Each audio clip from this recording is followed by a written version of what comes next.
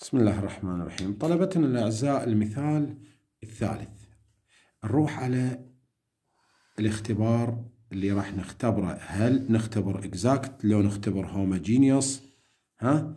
تباوع على السؤال هذا بيه تربيع و وبحدود بدون تربيع. اذا انتهى ال homogeneous يجي هسه طالب يقول زين أنت ليش ما قابل للفصل يعني حليتها قابل للفصل. ما ممكن لأن حدود بها إكس وواي آه، مضروب دي إكس وحدود إكس واي مضروب دي طبعا هنا أنا هذا هو الآن. ليش؟ لأن أي شيء مضروب بمن؟ لت... يعني هاي الحقيقة لا تغفلها إنه اللي ويا دي واي هو ان واللي ويا دي إكس هو شنو؟ هو هذا الدي إكس وياه هو شو نسميه؟ نسميه m هذا هو ال m زين. حتى نختبر test for exact شو نقول؟ partial m إلى partial y. هاي الدالة اشتقها ل y يعني ال x إيش راح نعامله؟ ثابت. يعني ال secant x آه ثابت. مشتقة ال y إيش قد؟ واحد. زائد. هذا الحد هو فقط في x يعني المشتقة مالته نسبة ل y إيش قد؟ صفر فايش صار؟ صار secant تربيع x هذا منو؟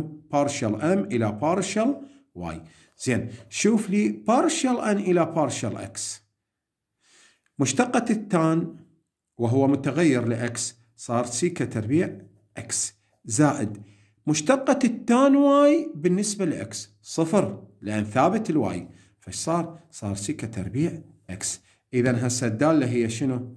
إذا الدالة exact عرفت الدالة exact كم شرط أحلها؟ الأول هو ال m partial f إلى partial x والشرط الثاني ال n هي partial f إلى partial y نبدي بيا شرط الشرط الأول. إذا ال m تساوي لي partial f إلى partial x يعني ال f شو تساوي لي؟ تكامل ال m dx إذا ال f تساوي لي تكامل.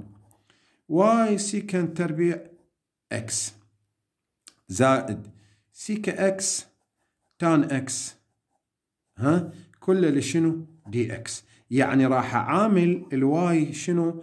عبارة عن ثابت. ال y أعوفه وحده. تكامل ال secant تربيع هو tan x ليش؟ لأن مشتقة ال tan هي secant تربيع x وهي متوفرة. تكامل secant x tan x هي secant x ليش؟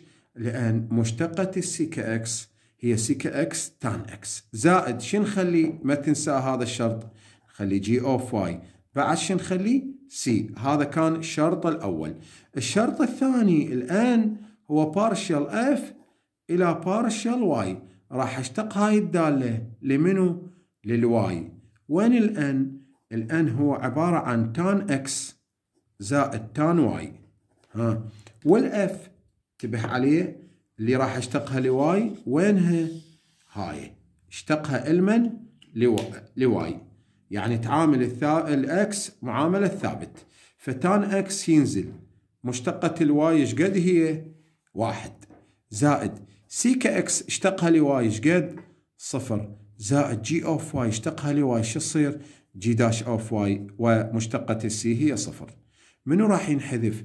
راح يصير tan x ويا tan x الآن ال g dash of y تساوي لي tan y وتساوي لي sine x على شنو؟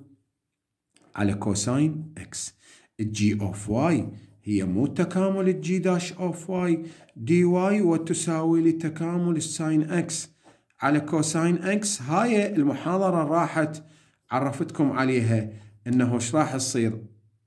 إذا كان البسط هو مشتقة المقام فهو ln القيمة المطلقة للمقام. ف ln cosine x. وين أوديها؟ أوديها هنا فشو تصير المعادلة؟